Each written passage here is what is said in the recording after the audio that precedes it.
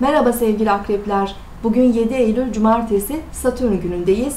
Çevreyle iletişiminizi azaltmak isteyebilirsiniz bugün. En yakın arkadaşınız bugün kendiniz olabilir. Çevrenizde süre giden olayları kendi içinizde derinlemesine incelemek isteyebilirsiniz.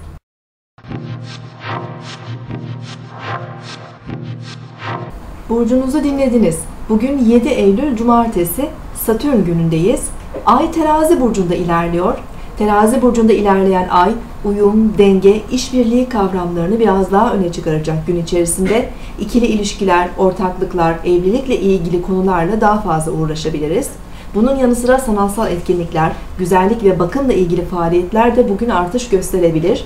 Günün ilk yarısında sabah ve öğle saatlerinde daha sakin ve dingin enerjiler var. Öğleden sonra Ay, Plüton ve Uranüs'le tek kare açı kalıbı oluşturacağı için denge ve uyumu bulmakta biraz zorlanabiliriz. İlişkilerde ve ortaklık çalışmalarımızda dikkat etmek gerekiyor. Özellikle Koç, Terazi, Yengeç ve Oğlak burçları daha fazla etki alacaklardır.